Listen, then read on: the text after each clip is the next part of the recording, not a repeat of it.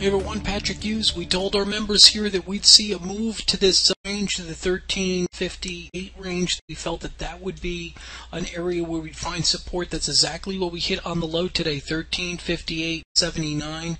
We also have another target in mind that we think is going to be a substantial.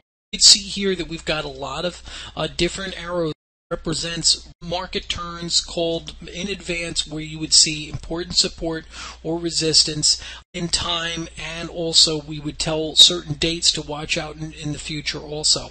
And we're very accurate with that as you can see here and we'd love to share this insight with you but we need you to take that first step and become a member now in this way you could follow our stock picks and our daily technical analysis. Let us show you the next market turn.